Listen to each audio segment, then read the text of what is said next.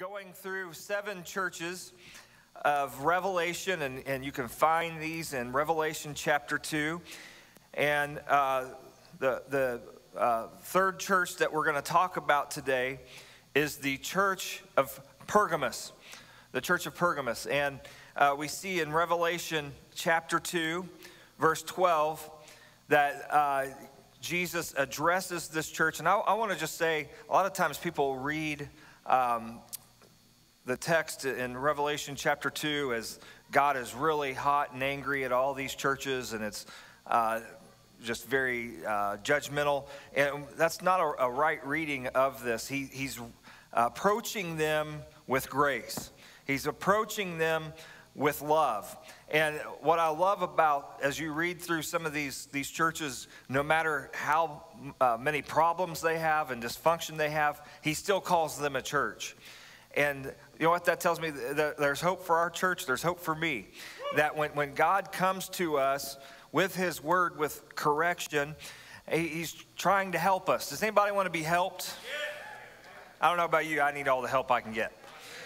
And so, Revelation chapter 2, verse 12, it says, And to the angel of the church of Pergamum, write the word of him who has the sharp two edged sword. And what we have to know in the context here is that Pergamos uh, was known as the city of the sword. It was a, a execution center of the Roman Empire in this part of the world. And uh, as twisted as it sounds, they took a lot of pride in that. That they were a, a uh, place that uh, was, was where Roman authority was centered, and we've talked about how there was this cult worship of Rome going on in each one of these seven uh, cities. And uh, Jesus takes their point of pride, and he does this in every one of these churches, every one of these cities where they have a point of pride. He takes that point of pride and applies it to himself. And so he tells this church, he says, I'm the one that has a two-edged sword in my mouth. Well, what does that mean? Well, we see this all throughout the book of Revelation. And Revelation 1:16 it says in his right hand he held seven stars from his mouth came a what? A two-edged sword. In Revelation 19, when things are wrapping up with the culmination of, of human history, it says, From his mouth comes a sharp sword which to strike down the nations, and he will rule them with a rod of iron. And, and here's what you need to know when it talks about Jesus having a sharp two edged sword in his mouth, it's talking about his place of judgment. And we're going to come back to that here in a few minutes. So just kind of keep that in the back of your mind. So here's their uh, commendation. We, you've uh, talked about every one of these churches have a commendation, what they're doing right. And theirs is this they held on to the name of Jesus and they held on to their faith. In Revelation 2:13 it says, "I know where you dwell. I know where you're at. I know the, the pressures that you're facing that are around you, where Satan's throne is. And so he's saying, You are right where hell has a demonic foothold. Yet you hold fast to my name and you do not deny the faith even in the days of Antipas, my faithful witness, who was killed among you where Satan dwells. So it, it appears that there was a, a, man in the church who was martyred for his faith. And, and Jesus says, I know where you're at. I know you are right in the middle of where hell resides, where Satan's throne is. And uh, this may be referring to that not only was the Roman cult worshiped in Pergamos, but there was a, a huge uh, Greek temple to Greek gods. Uh, any idol that you could worship could almost be found in Pergamos. And, and so he, he, may be saying that uh, not only are you fighting one uh, adversary, you're fighting many adversaries because there was so much idolatry that was there. But I, I got to thinking about, you know, what does that mean where Satan's throne is? Well, at the heart of, of Satan is this and at the heart of idolatry is this pride. it, it is a satanic trait that you will find at the heart of any idol, of any idolatry, of any idol worshippers, pride. And so the first point I want to give us today is this Satan's throne is found wherever pride is. And pride seeks to elevate me, seeks to elevate uh, man's systems above God. Here's probably the, the most churchy way we say it it's the world, it's the world's systems, it's the world's way of thinking. And, and it, it is a, at the heart of Satan because that's how he got to where he is. And in Isaiah 14, we see that the prophet Isaiah uh, is speaking prophetically, and he's speaking to a human king, but most biblical scholars believe that this human king represents Satan. And he, it says this in Isaiah 14 How are you fallen from heaven, O day star, son of the dawn? How you are cut down to the ground, who laid the nations low. In other words, you've deceived the nations, but you've been cut down and you're fallen. And I just want to stop here. Pride comes before what? A fall. You're coming down, you're going down. The, the, the best way to go up is to lower yourself before God has to do it, because He will do it. And, and you said in your heart, I will ascend to heaven above the stars of God. I will set my throne on high. I will sit on the mount of the assembly in the far reaches of the north. I will uh, uh, ascend above the heights of the clouds. I will make myself like the Most High. In other words, what, what is he saying? I'm going to lift myself higher than God. I deserve a place alongside or higher than God. But you are brought down to Sheol, and that simply means hell, to the far reaches of the pit. And we see that this is what pride does to people. They try to puff themselves up. They try to, to lift themselves up above God and above other people. And it actually brings their destruction. And I, as we read those scriptures, did anyone notice how many times the word I is used? And that's what a prideful person will do. That's what a prideful system will do. It will elevate man at the expense of God. And, and here's how you defeat pride as you become like Jesus who lowered himself, even though he was God, lowered himself to our level. And, and, when you read the prayer of Jesus, when you read what we call the Lord's Prayer, it's not a uh, prayer of I's and me's, it's a prayer of you and yours. Our Father, hallowed be your name, your kingdom come. Your will be done. And if you want to empty yourself of pride, be all about other people and God. Come on, does anybody want that in your life? Anybody want to rid yourself of pride? And if you're here today and you're like, well, I don't struggle with that, well, that is a really good sign that you struggle with that. Years ago, there's a we had a testimony service you know, like one of those Thanksgiving testimony service. And, and uh, somebody got up and said, Everybody knows I'm the most humble person here. But prideful people hate for other people to tell them what to do. The anthem of a prideful person is this it, it's the Frank Sinatra song, I Did It My Way. I'm not going to let you correct me. I'm not going to let you tell me I'm wrong. I, am going to lift my opinion above yours. I'm going to lift my ways of doing life above yours. And, and that is the way of the world, and that's at the heart of idolatry is this I don't care what God says, I don't care who God thinks He is.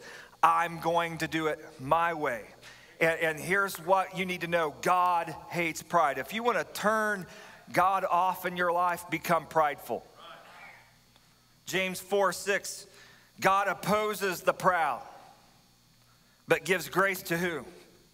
The humble. You know what it means to, to be humble? It means to lower yourself.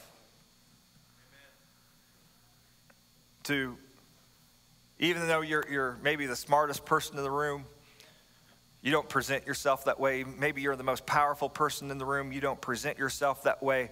A humble person rids themselves of pride. And so that's why we're fasting right now. You know what fasting's all about? Ridding myself of pride, humbling myself, saying, God, I need you. God, I'm dependent upon you. God, I can't do it on my own. And, and here's what we need to do is that we need to uh, fill our life with humility in this, this hour. And, and, and, here's what that looks like God, your opinion above, above mine, your way above mine, your word above my opinion. Lord, I'm submitting my life to you. And that's how we rid ourselves of Satan's throne in our life. And, and a good way to, for Satan to enthrone, to allow him to enthrone himself in your life, is to puff yourself up. Make yourself look big. You, you know, there's people that when, when they walk in the room, they always got to be the center of attention, and they don't care if it's for good or bad, as long as they get the attention. You know what that is? That's pride. You, you know, you know what uh, a, a, prideful attitude says? I don't need to pray and fast. I, I don't need to do it. No, no, you, we need to humble ourselves in this hour. How many knows if we've ever been at the mercy and the need of the grace of God, it's right now? And, and now's not the time to get prideful. Now's not the time to get prideful about how long we've been serving God. Now's not the time to get prideful about all the past years we fasted or how much we've read the Word. Right now's the time to be hungry and to be humble for God to use us and for God to purify us. Can we lift up our hands right now over this place and say, God, use me, humble me. Amen. Revelation 2:15 but we see that they, they also have some correction. In Revelation 2:15 it says, "But I have a few things against you. You have some there, everybody say some there. It's not everybody who hold the teaching of Balaam, who taught Balak to put a stumbling block before the sons of Israel so that they might eat food sacrificed to idols and practice sexual immorality. So the correction that they receive is this they tolerated false teaching and practices. And he says that the, false teaching that they have tolerated is the teaching of Balaam. Now, who's Balaam? Balaam was an Old Testament character who, when the children of Israel were passing through the wilderness, a king of Moab hired him to prophesy against Israel. So that's, that's kind of the first tip off about his character. He was hired to prophesy. And when he tried to prophesy against the children of Israel, he couldn't do it. God would not allow him. And uh, eventually, the way he got them to fall into sin was this is that he lured them he advised the king of moab to send out the women of moab and they lured the children of israel into sexual immorality so the teaching of Balaam isn't a, a, specific set of doctrines, if you will, but it's more an attitude. It's a deceitful, defiant spirit that compromises truth for the sake of gain. And then the second thing I want to tell us today is don't compromise your identity. Don't compromise your identity. And pride is at the heart of compromise. All of these work together. You see, Pride says, I'm going to do it my way. Pride says, if I can gain something at the expense of sacrificing truth, I'm going to do it to exalt myself. And the compromise that some of the church of Pergamum were committing was that they were eating at parties where it was uh, meat that was dedicated and, and sacrificed to idols were being served at these parties. Now, what was the big deal about that? Well, what they were doing was they were identifying with that idol worship. And so maybe they were in a trade guild, maybe they were a, some part of a business or whatever. And if you wanted to be in, you had to go to this party and you had to eat of this meat. And it reminds us of the Hebrew boys right? Daniel and the, the, the, Hebrew boys who, who drew the line and they said, We'll let you change our names, but we're not going to let you dictate what we eat. We're not going to compromise that part of our identity. And so the direct threat against the church of Pergamum had failed, that was persecution, but it was being destroyed from within. How many knows that, that sometimes the church can be its own worst enemy? And if we're not careful, we'll let things like compromise come and, and get a foothold in the church. And so this group in the church that was going to these parties they were dabbling with the world and dabbling with Jesus too. They were showing up to church on Sunday, and then Friday night they were going to this party where this idol was being worshiped through the eating of meat and so forth. And here's what we need to know is that you cannot dabble with Jesus and dabble with the world too. It's idolatry. James 4 4 says, Do you not know the friendship with the world is what? Enmity with God. Therefore, whoever wishes to be a friend of the world makes himself what? The enemy of God. Now, that doesn't mean that we can't be friends with people who aren't Christians. That's not what that's saying. When he talks about friendship with the world, it's about the world's way of doing things.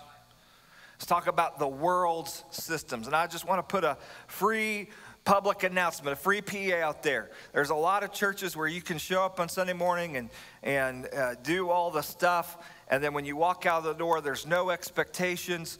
Uh, there's very low expectations if they do exist, and you can do whatever you want to Monday through Saturday. I want to tell you, this ain't one of them. That when you when you come into the church of the living God, when God delivers you out of the world, you're to leave that system behind. You're to leave that way of thinking behind.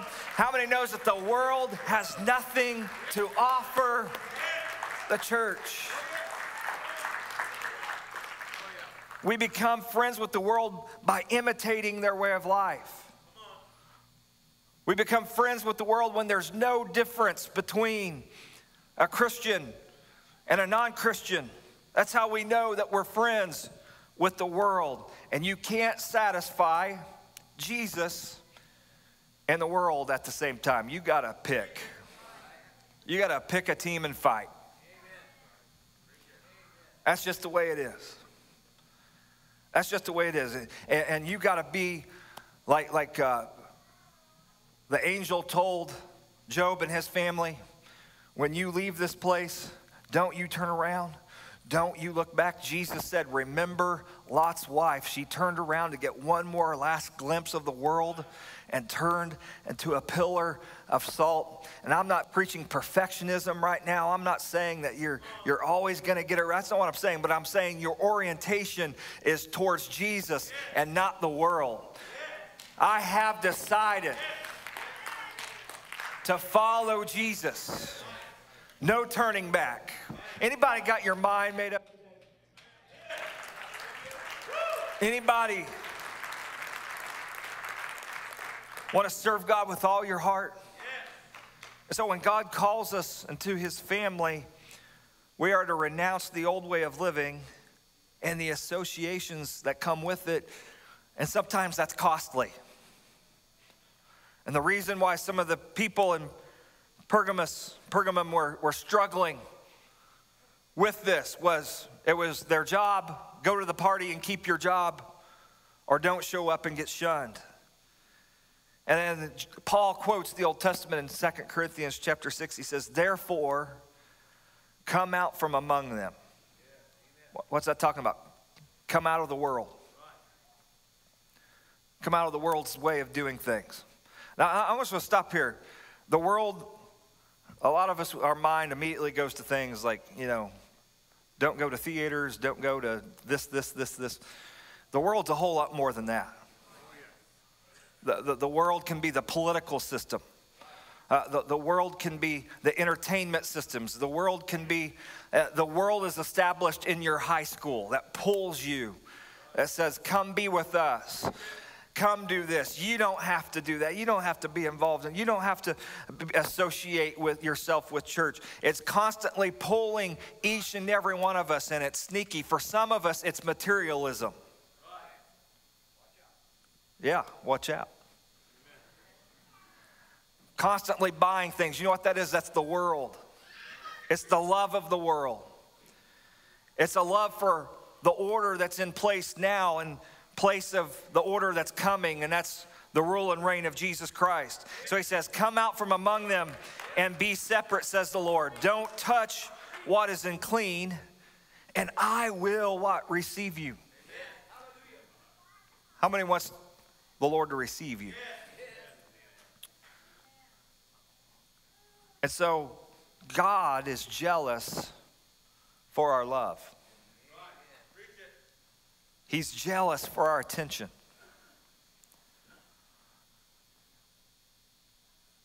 And so when he saw this section of the church going to these parties, he doesn't say, well, it's only a few of them.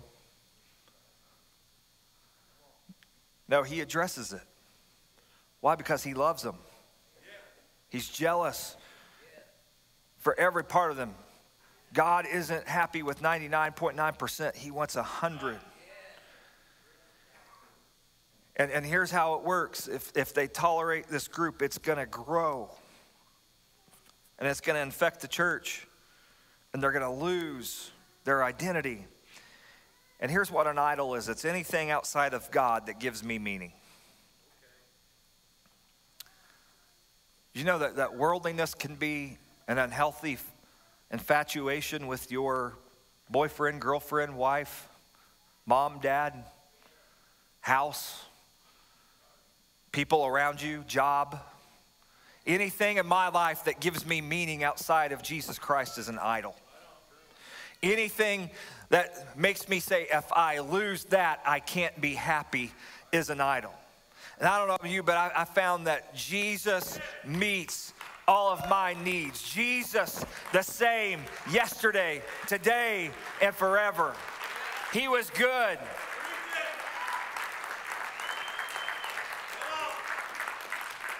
He was good 10 years ago. He was enough 10 years ago. He's enough today, no matter what state I am. Jesus is enough. If today you're single, Jesus is enough. If you're divorced, Jesus is enough. If you're struggling, Jesus is enough. And here's what the world wants to convince us if you're not madly in love with somebody, you have to be miserable. You know why? Because to the world, love is an idol. The world says if, if you're struggling financially, there's no way you can be happy. That's an idol. And we have to come back, That's what, what he said to the first church, your first love. Where every time we stepped into these doors, it was joy unspeakable, full of glory. Why? Because we had found what we were looking for. Come on, some, somebody Somebody just search your heart right now and say, God, rid me of the idols. Idols can be good things. I love Danielle, but she can't give me meaning. I love my kids, but they can't give me meaning. I love this job, but it can't give me meaning. And here's how you know you don't have an idol in your life when every part of you's been stripped away and you can still say, He's enough. Amen. Third thing, don't compromise your purity. Don't compromise your purity. The second component of the teaching of Balaam was sexual immorality. So there's two component, components. The first was eating meat that was associated with idol worship, and the second was sexual immorality. And I want you to see that there's a, a, a trend that happens here. Pride leads to compromise, which almost always leads to sexual immorality. And, and it's so many uh, idols that Israel worshiped when they backslid away from God. At the heart of that idolatry was the practice of sexual immorality. And so it was common at these parties that the, the church of Pergamum, that some of them were going to, they would eat this meat. And then there, there were uh, these temple prostitutes would come in to the party and they were expected to participate in that. So you, you see how that, that compromise would happen. Maybe they say, well, it's not a big deal. I'm just going to show up. I might not even eat. I'm just going to have a Coke. like the drink, not. So they get to the party and it's like, oh man, that steak looks good. And it's just steak, right? I mean, who doesn't enjoy a good Ruth's Chris? And so they, they start to eat, and it's a slow fade. Their defenses are lowered, and in comes the rest of the crew. And before you know it, they've fallen into sexual immorality. So the Bible persistently depicts sexual sin as idolatry. Paul says in Colossians 3:5, put to death. Just stop there for a minute. Don't tolerate it. Don't allow room for it. No hint of it. Put to death, therefore, what is earthly in you sexual immorality, impurity, passion, evil desire, covetousness, which is what? Idolatry. At the heart of that, and, and I think that would cover not just you know, sexual acts, but pornography, covetousness, fantasizing about things I shouldn't be thinking about. It's idolatry. And here's why sexual sin is, goes beyond physical acts, that there is a spiritual component to it. Sexual activity uses for idolatry what God has given us for good. And by the way, the same is true when used for good. There is a special, uh, there is a spiritual connection that takes place, which is why God gave us that gift to stay within biblical marriage of one man, one woman. That you spiritually become connected with a person through that gift that God gave us. And the reason that God takes this sin so seriously is that it's a sin against our body. You see, when Jesus paid the price for us, when we repented of our sins and when we baptized that body in water, and then He filled us with His Spirit, there's a dirty little secret that we don't always tell you, and that is it ain't yours anymore. You're God's. And when I sin sexually, I'm taking Jesus with me. And I'm taking what's sacred, what's been paid for by the blood of the Lamb, and I'm entering into an idolatrous place. If somebody came in here today and started spraying graffiti all over these walls, I hope somebody would tackle them. And I would look the other way if you socked them a couple times. You know why? Because, because these, these walls represents sacrifice. This is where we encounter God's presence together. It's not a ordinary place. But, but here's what we do when we sin sexually. We do the same thing. We defame the temple of God. And in 1 Corinthians chapter 6, Paul talks about this. And he says, but he who is joined to the Lord becomes one spirit with him. Flee from, what's that mean? Run like Joseph. Don't go to the party. I'm, I'm going to go here. Don't go on the date. Don't be alone in that situation. Flee from sexual immorality. Every other sin a person commits is outside the body. But the sexually immoral person sins against what? His own body. Or do you not know that your body is a temple of the Holy Spirit within you, whom you have from God? You are not your own. I'm, I'm just going to stop here. And I've, I've talked to several people and say, well, it's my body. I'll do what I want to with it. I'll dress the way I want to. No, it's not. It is the temple of the Holy Spirit. Come on, is anybody with me today? And so when we, when we teach against this, it's not just, oh, we want to ruin everybody's fun. No, no, no. We want you to experience the great gift God has for you. in a biblical way. And when we step outside of that, we are committing idolatry with our body and we sin against us. He says, You're not your own, for you're bought with a price. You're not like everybody else in your high school. You're not like everybody else at work. I've been bought with a price, so I'm going to what glorify God in my body. Does anybody want to glorify God?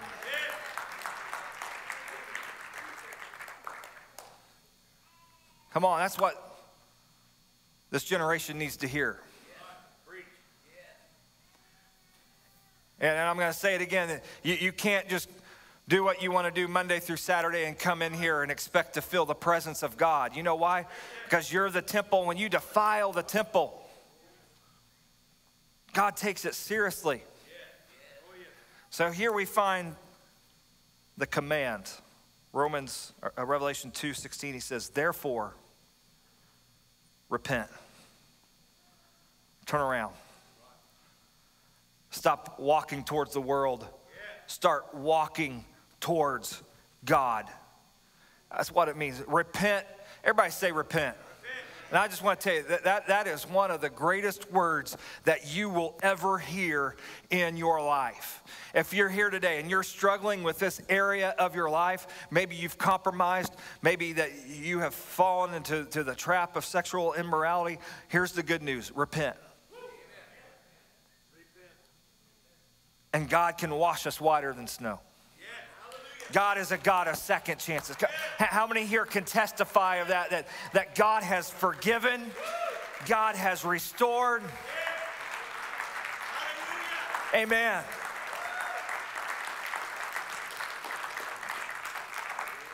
I know people that lived a lifestyle of, of, fornication who are happily married, and God has restored that gift to them in marriage, and God can do that for you too.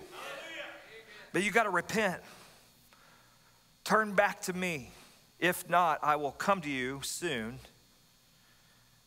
Remember, we talked about the sword in his mouth, and he said, and war against them. Notice he didn't say you, he said them. With the sword of my mouth. Now, this is, this is heavy, all right? I'm just going to warn you, this, this is heavy. In Old Testament Israel, whenever there was sin in the camp, God dealt with it. And sometimes He thinned the herd. Now, we have to be careful because we live in the dispensation of grace, the era of grace. However, God still judges sin within the church. And I've got to take this seriously because my sin does affect you. You don't believe me? If the time, I'd walk you through two, two phone calls I've had to deal with this week where sexual sin almost destroyed two entire churches. And so Jesus says, Repent, or I'm going to come to you with the sword in my mouth, which is what? Judgment. Where does it say elsewhere in the, in the Word of God? Judgment begins where? House of God. Do you know that? That, that judgment doesn't begin in Hollywood. You know what? God doesn't expect that. But those of us who claim to be Christians, He's watching us. But here's the good news. Here's the promise. Uh, each one of these churches receive a promise. Verse 17 He who has an ear, let him hear what the Spirit says to the churches. First of all, I just want to stop there and I want to say, what's God saying to you through this sermon today? Do you have an ear for what God's hearing? Is it just white noise or is it alive in your soul? To the one who conquers, I will give him some of the hidden manna. What's the hidden manna? Well, in the Old Testament, when Israel was hungry, God provided this supernatural form of substance called manna. It was like a flour like substance that would appear on the ground each day. And it represents the Word of God. It represents the provision of God. And here's what I think God is saying to those who don't compromise themselves, who don't fall into the trap of sin, I'm going to show them supernatural things. I'm going to show them supernatural things about me. Those who want to grow closer will grow closer. Does anybody here want to grow closer? Anybody want some of that hidden manna? Here's a, y'all know I like to eat. And I, I, know that this might be here uh, hard to hear while you're fasting, but how, does anybody ever been to those restaurants where they have off menu things? Like you've had it and they take it off the menu and you call them out and you're like, hey, you used to have this. Where'd it go? And the waiter's like, well, I could talk to the manager and see what we can do. And, you know, like, the manager knows who you are. He's like, well, we'll make it for you. You know what? That's hidden manna. We don't serve this to everybody, but you eat here all the time. I'll make it. That's what God does for people who refuse to compromise, who refuse to give up themselves. He said, I'm going to show you things about myself that's, come on, does anybody want God to show you some supernatural things in 2022? Amen. Some hidden manna. Your home, just go home and feast on that this week. Pray at the end of this fast, God, I want some hidden manna. I want you to give me some supernatural revelation. And he says, I will give you a white stone. What was a white stone? Well, white stone was a sort of like a ticket into events at this time. And so God says, I'm, I'm going to give you a white stone. How many is living for heaven here today? I want to hear, Welcome home. Good and faithful servant. That's my ticket. I'm not giving up my ticket. You can't have my ticket. With a new name written on that stone that no one knows except the one who receives it. God has a new name for you. We see this in the Bible that Jacob goes to Israel, Saul becomes Paul. God changes people's names and gives them a new God given identity. And, and I don't know what that name is, but God has a personal new name for you if you are faithful. And there's mystery to that, which makes it all the more wonderful. Wouldn't that be awesome to hear a personalized name that God has just for you? Amen. And we can have that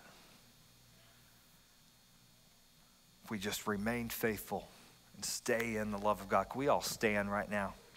Oh, yes. Amen. Why don't we lift up our hands all over this place right now? Why don't we just pray, God, rid me of any pride in my life.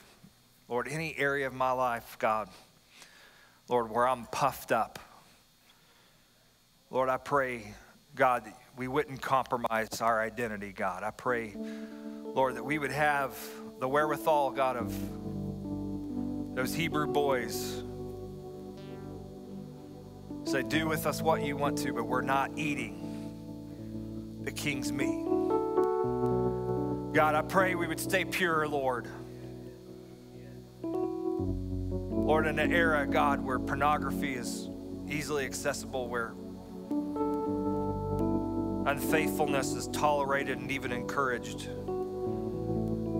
Lord, I pray we would walk out of here as temples of the Holy Ghost, God. In Jesus' name, Jesus' name. Come on, anybody feel that here today? That's God's love. That's God's love. I just want to encourage we got too much to live for to quit now. We got too much to look forward to to quit now. So if you've, you've compromised some areas of your life, repent. That's the word of the Lord today. Repent. If you've gone some areas where you don't need to go, repent. Why? Because God's coming for a holy church. God's coming for a holy people. That's what we're living for. I just want to pray right now, Lord, I pray anybody here today, God, needs to surrender their life to you. I pray they do that today, God. Anybody here that's not, Lord, taking the step to be baptized in the waters of baptism in the name of Jesus, God, I pray they would do that tonight, today, God. Lord, I pray, God, we would be filled with your spirit, God, filled with passion, God. Lord, I pray there would be hidden manna, Lord, in this place, God. Lord, I pray in 2022, God, give us revelation, God, like we've never had before. God, I pray spiritual growth like we've never had before, God. I pray we would be hungry for you, God. Lord, rid us, God, of the love of the world, God. Rid us, God, of materialism.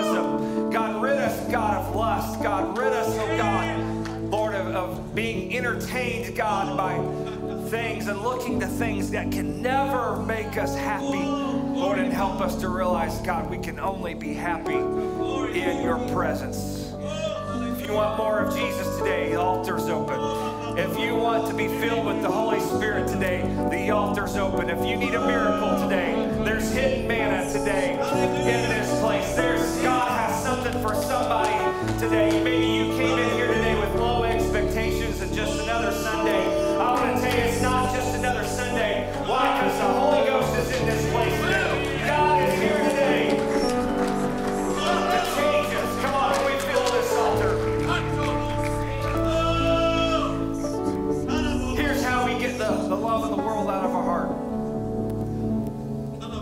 Focus on the goodness Yes. of God.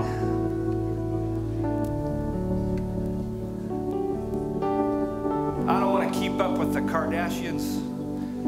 I want to keep up with Jesus. How many knows that happiest moments is you're going to feel right here. You're going to feel in the presence of God, the goodness of God. This is where God fills most of us. This is where God baptized most of us.